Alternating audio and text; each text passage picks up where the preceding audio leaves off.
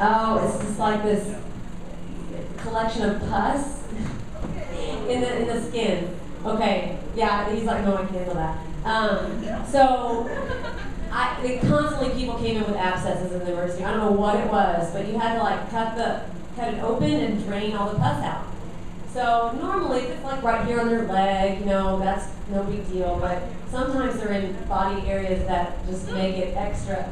Oh gosh. Um, so, and they're usually kind of small. But one night we had this lady, and it was in an area that wasn't very fun to get to, and she had an abscess. I promise you not, it it drained probably a liter of pus and it smelled so bad. Like I would go in and, and I was the main one doing it, so I'd go in and it'd start draining, and I'd have to like, couldn't let her see me, my face, because I didn't want to embarrass her. So I literally, without vomiting, I had to leave the room and collect myself and come back in and do a little bit more. I mean, it was so, so bad.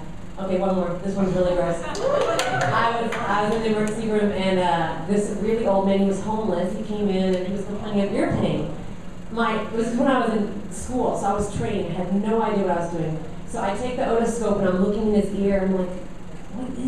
There's like these black wires everywhere. Like, is that a hearing aid or something that like got lodged in there? So I look again or look again and I call in the attending that was like helping me and teaching me.